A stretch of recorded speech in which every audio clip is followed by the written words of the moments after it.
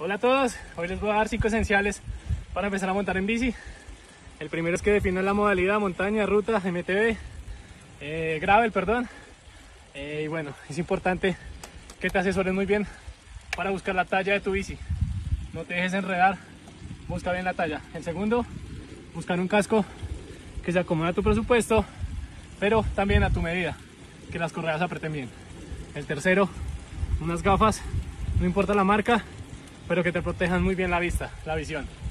El cuarto, unas zapatillas. Yo recomiendo empezar con zapatillas de una vez porque te va a hacer imprimir mejor la fuerza.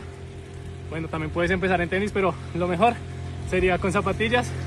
Y el quinto, un buen atuendo. No importa la marca, no importa el presupuesto, pero que salgas con una badana y un jersey te va a hacer más cómoda tu rueda. Chao, capitos.